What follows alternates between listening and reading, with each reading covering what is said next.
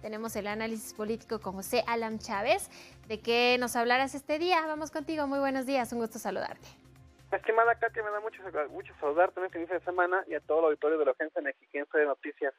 Y bien, pues esta, esta, semana, este fin de semana concluyó el periodo de de sesiones y queda pendiente el análisis del paquete fiscal 2021.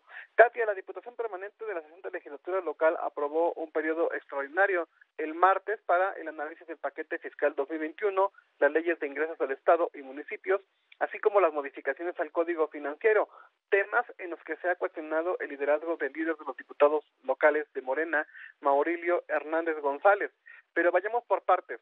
Los diputados locales de Morena y sus aliados legislativos alargaron las discusiones en estos temas porque se niegan a aprobar la propuesta inicial de endeudamiento por hasta 13.500 millones de pesos que presentó el Ejecutivo.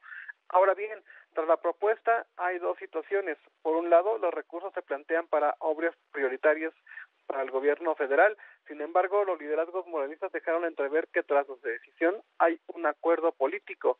El jueves 17 de diciembre, el senador de la República, Higinio Martínez Miranda, quien es considerado el líder del Grupo de Acción Política de Morena, dio a conocer que hay un acuerdo con los diputados locales para no dejar pasar algún tipo de endeudamiento al gobierno estatal.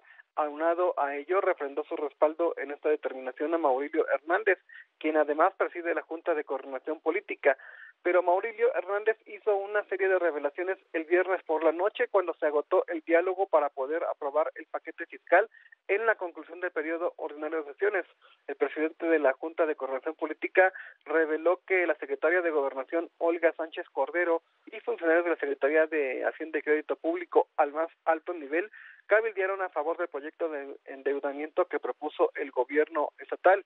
Maurilio se evidenció entre la espada y la pared, como se dice en el argot popular, porque por un lado queda claro que la intención del gobierno mexiquense está empatada con la administración de Andrés Manuel López Obrador, pero tiene la instrucción de Higinio Martínez de ir en contra del proyecto de endeudamiento, como lo anunció el propio senador.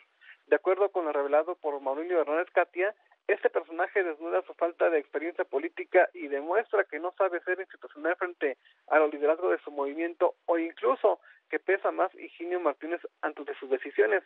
Lo anterior en virtud de que no tendría por qué exhibir a la secretaria de Gobernación Olga Sánchez, quien dijo lo mandó llamar para expresarle el respaldo del gobierno de López Obrador al proyecto de endeudamiento que se contempla en el paquete fiscal 2021.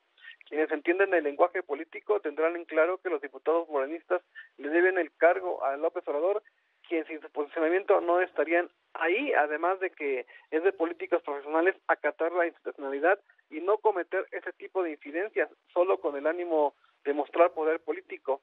El GAP que encabeza Higinio Martínez se equivoca al tratar de jugar a las fuercitas frente a los gobiernos de la República y el Estado de México. Hasta ahí el comentario, Katia. Perfecto, pues ahí el comentario, este análisis político como cada lunes, desde el lunes 21 de diciembre. Y pues sigue pendiente, como bien lo mencionas, este paquete fiscal. Quedamos atentos de este tema y déjanos tus redes para seguirte y leerte. Muchas gracias, los invito a que me sigan en Twitter como arroba José Alam, en Instagram como José Alamche y en Facebook como José Alamche de Jacobo y Callejón Informativo. Y un excelente inicio de semana para todos.